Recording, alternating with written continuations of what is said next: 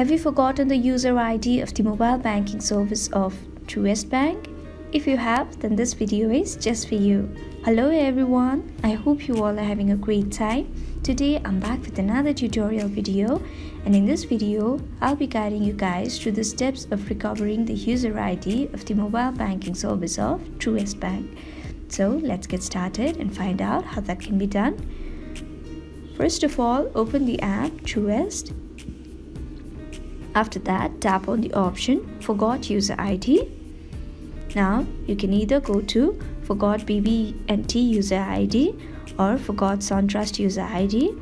Choose the one as per your requirement.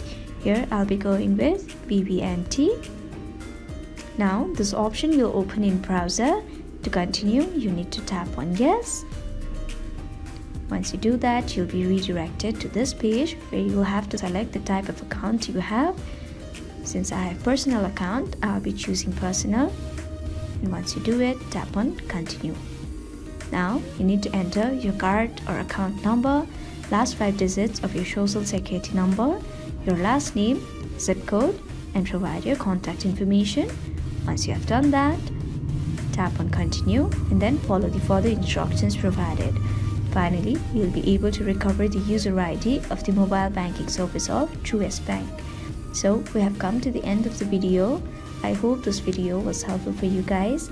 If it was, then please make sure to like, leave a comment, share and subscribe to our YouTube channel, TechQuest. We'll be back with more such videos. Until then, have a great time. Bye bye.